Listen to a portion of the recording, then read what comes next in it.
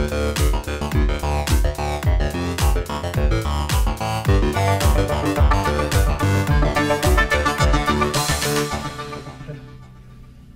right, guys. So this is a I don't want to call it unofficial, but I don't have a media guy this week because I think we overworked him at Florida 2K. so he got sick and decided to take the week off, which is fine. Uh, so I have my little like DJI little tiny camera up on a shelf right now with no microphone. Even though I just got a new microphone, I'm not. I've got none because he's got them at his house right now.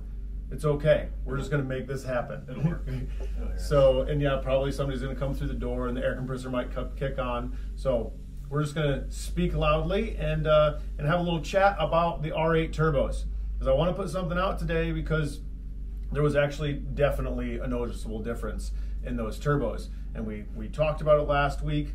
Talked about putting the new turbos on from XonaRotor. They're 72 millimeters versus the 76 from Precision. Once again, no slight on Precision. Those turbos worked great for the time that we had them on it. Still have them on other cars. Lots that of them working well. Yep, lots of them on other cars. We have them on the STO. Um, Tony's car has his on the, there, and then a lot of other the stock motor cars. So no slight there whatsoever. Precision, we love you. There's there's no issues there. But Greg from XonaRotor is a good friend. He's come to the shop a couple of times, and he wanted to try something out, and we wanted to give him the shot. So uh, and we were excited to work with them because uh, you know they're just a cool company. Uh, and uh, it definitely livened the car up a little bit. So uh, let's just talk about some stats. Uh, once again, like that's a 72 millimeter inducer turbo with a 69 millimeter exducer on the hot side. Um, the the 7675 is just that. It's a 76 millimeter inducer and a 75 millimeter exducer on the turbine. Um, the turbine on the XonaRotor uh, is definitely uh, extremely efficient, and we we found that out by by turning it up and realizing that uh, you know that the drive pressure wasn't hindering the car quite as much. Um, I will just go on record and say I do not have drive pressure sensors in the car. We did not have time to do that. I wanted to do that, and I also wanted to do uh, uh, wheel speed sensors, but we didn't have time to do that. So this data is very purely based on boost for boost. How fast did the car go? Yeah, and where it quit making power. Right. And we did get to the point where we found where it quit making power. Yeah, seems like it. So um, Taylor's obviously you guys all know Taylor. He's the man behind the keys here, and um, and he probably knows a little bit more in depth. I mean, I, I know exactly what boost we were at and how much mile an hour we picked up, but I'll, I'll turn it over to him. So I would say probably the comparison would be Bristol to here, correct? Yeah, I think so. Because Yeah. half mile stuff we didn't do a half mile. Right, but quarter mile we did. Uh, I mean, what did we do? Six or seven seven second passes in Bristol from you know thirty pounds of boost to thirty four pounds of boost to where it didn't do anything, and on the seventy sixes that is. 780 at 190. I think our best trap was 190 miles an hour, and we did it very consistently from 189. Say hi, Ricky. We're on 190. YouTube. um, but yeah, I mean, it seemed like we were stuck at that 190 level. Um, you know, Bristol's a little higher elevation track, but the air was good for August. Uh, Bradenton is a low elevation track, but FL2K is hot. Sunday wasn't too bad, but Right. I mean, I feel like we have pretty definitive uh, 76, 75 results on our car with our engine. Yeah. And so the 76, 75s in Bristol, we turned those things from 28 to 34 pounds.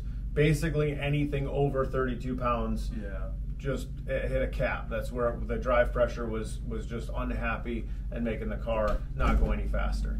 Um, From 30 to 32, there was a small gain. 32 to 34, there was no gain. I think we even tried 36 pounds. That might have been at the half mile. Car got slower. You know, didn't get hurt, got slower. Turned it back down, gained our mile an hour back. Right. I mean, that was the limit. Yeah, definitive, very definitive. And that was 189 to 190 miles an hour in the quarter. Yep. Um, and then in the Dragy, uh, which I will just go ahead and pull up right now so that I'm not talking out of my you know what. Um, you know, we, we got 61 30 times. That has a lot to do with traction, but 100 to 150 times, they're a little bit more like, hey, Especially at the track. Right. You know, like 100 to 150 is it's hooked up. yeah, that's a power. That's a power situation. So, uh, what was the dates in uh, in Bristol? Uh, first part of August. maybe like the Yeah, 11th, Okay. right? No, that would have. before that? Yep, that would have been the half mile. So the fifth. Fourth, fifth, something like Yeah, that. fourth, fifth. Okay, so 100 to 150 times ranged from 225, 224, 224, 235, 245. That's when we turned it up and it actually went Mhm. slower, I'm sure. Yep. Um, so in the mid two twos. We've Two- been two one at a best, I think, in Texas. A two one something. okay, so 76, Right. 75s, a 2 1, uh, high 2 1 Yep. uh, would be at best uh, 100 to 150. Yep. Um, and two two mid two twos is about what we were running in Bristol, kind of this last time out. So, um, okay, so let's talk about you know the testing we did on the the new 72s. So, as if you guys follow, as you guys know, we had some electrical gremlins um, uh, go on in Florida. Um, we ended up working those out. Electrical things are absolutely a pain in the butt. Ended up being um, a wire that was folded that we you know had to find, and then it took out a Motec adapter box, and what a me- what a mess.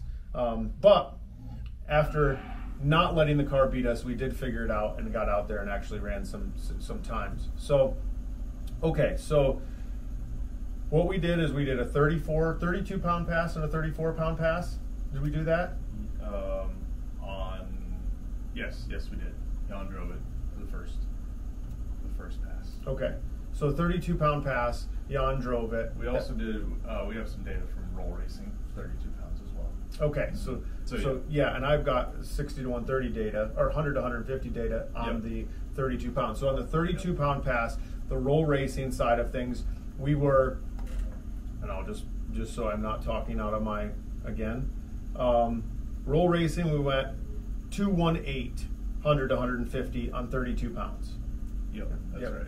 Okay, and then at the drag racing, I think he went 190, 189. You have 189 some change. Yep. Right on 32 pounds of boost. Yep.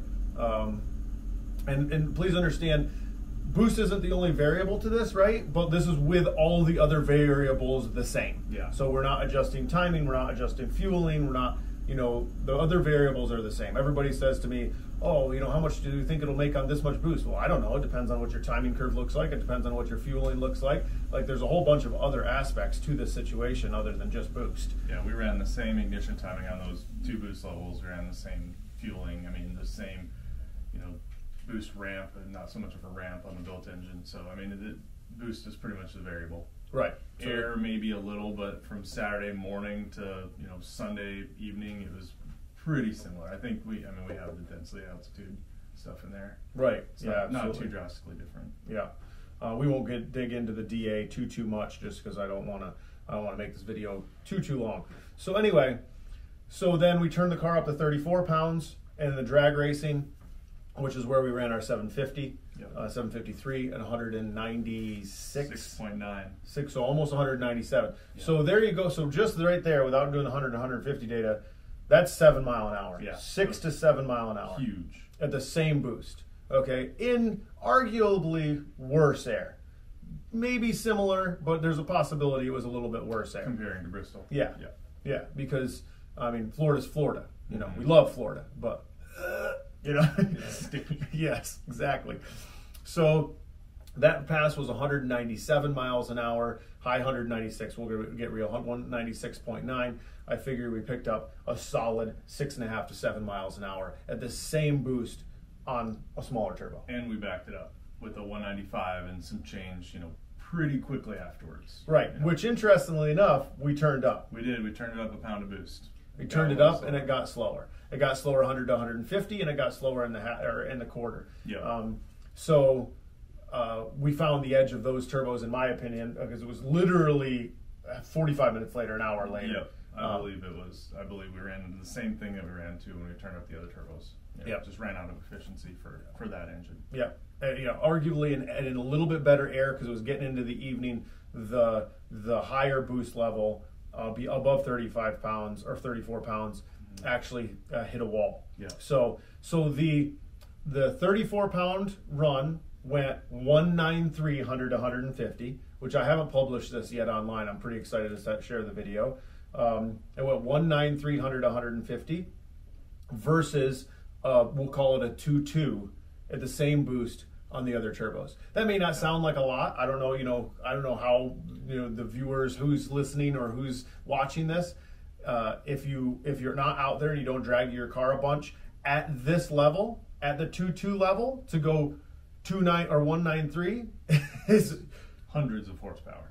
A lot of power. Mm-hmm. It's a lot of difference in power. And to go from 190 to 197 isn't 50 wheel. Yeah. It's like Yeah, 200 hundreds for sure. horsepower. So like you know, exponentially as you get faster, it gets harder and harder to go faster. Um, that's just how that works. So.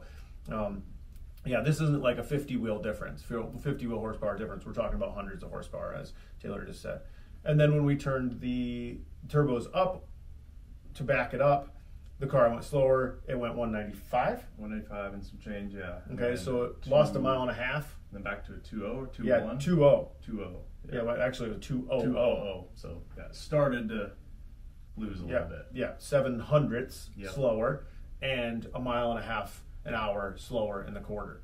So, um, yeah, so I mean, lots of good data there. I don't know, you know, if you're interested in building a car with those turbos, I will say that they also come up faster. They come up very fast, especially on the street. You definitely see it in the data on launch controls, where I really see it from the 76s, which I never felt like they were laggy on a you know V10 engine, but after seeing, hearing your car come down on launch, counting the amount of seconds it takes to you know step down to target torque after coming out, it, it's like it feels like we're working with 64s again. I Yeah. mean, not quite, but Yeah. it's uh, it's impressive. I will say on the street they are they come up a little they come up quicker.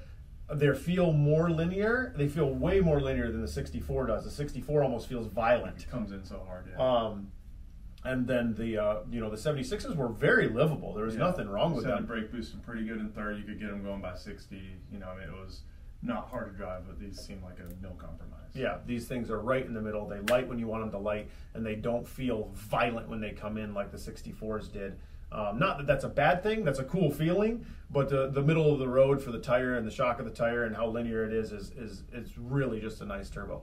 Um, so yeah, we're excited about it. So our the the answer to the question last week, as much as most of you guys probably won't like to hear it, is that size does not matter. it actually doesn't matter. Um, smaller can be faster, um, and we won't dig too far into that. So okay, I'm going to edit this myself, so I'm very sorry about what's about to happen and be pu- published on our YouTube because um, I got to get this out today because it's Friday and I want to publish this. Any other interesting data or anything you want to share? Uh, one note is if anyone says, well, the dyno could have told you that, you could have just turned it up on the dyno. Uh, a couple things to mention. We have a dyno jet. Love that dyno. It's great. Day to day use is awesome. But at 2,000 ish horsepower stuff, there's inconsistencies with traction. This is the biggest one. I mean, we start to spin all four wheels on those cars. I think we turned this thing up to 1,750 wheel, and I was like, let's do the rest of the track. You know, that'll tell us. Also, even if we picked up power, let's say from 34 to 35, 36 pounds on the dyno, if we could get it to hook and ice the car and have back to back everything be the same, it's one gear. You run it for six and a half gears down the track, you might have more power for one gear. You know, you might upset the car after four or 5 Mhm. gears. So the dyno for us, being a dyno jet, being you know a single gear pull, it's a tuning tool. It gets us close. The track, this type of data is is really where we you know find the limit or find you know the value in, in more boost, less boost, changing ignition timing, stuff like that. So um, real world data is always worth more than the dyno. Yeah, absolutely. We get, I get that question a lot as well because there's a lot of guys out there, you know, Tony from T1, uh, um, you know, the guys out of uh, Auto Trends, they all have hub dynos, you know, and they make, you know, but I, we don't have that, we know, and these tire, these cars do spin. People are like, oh, why don't you put up more 23, 2400 horsepower graphs? Because there's no way we could ever do Not that. gonna do it on it's impossible. The thing would just shred the tires off the freaking car before that would happen. So yeah, that's a, that's a good point. So anyway, all right. I'm sorry if the sound isn't wonderful. I'm sorry about any background noise. Um, I'm not sorry for Ricky walking through because you know I mean he's a nice guy. Um, we'll get this published up, and if you guys have any questions, any comments, please leave them. We're happy to answer them. Hit us up on Instagram, Facebook, uh, email us, whatever, or, or comment uh, in the in the YouTube. Where we love answering questions about this kind of stuff. We love technical data. We don't ever get enough of it. but we, we absolutely love it. So, all right, see y'all for now.